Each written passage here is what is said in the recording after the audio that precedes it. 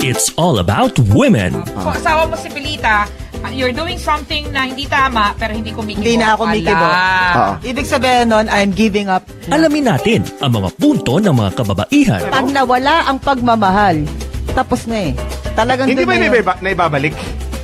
Ang pagmamahal, ulitin mo from day Oo, one. Manuyo ka ulit. Due to insistent public demand, sa dami ng nabitin, aming ibinabalik ang programang kakampi ng mga kababaihan. Lahat ng greatest uh, leaders ang naging downfall at ang naging mitya ng kanilang pagbagsak, babae. Kahit sa Bible. Kahit sa Bible.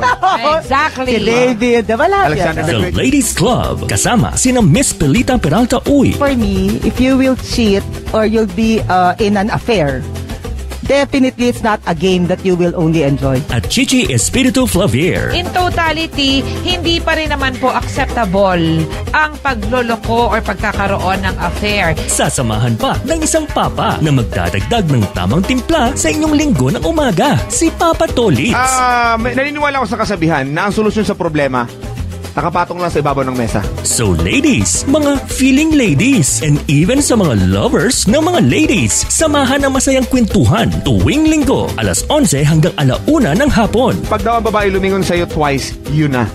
The second glance. Yun ba yun? Eh, ba't ako nagsa-third? Gustong gusto!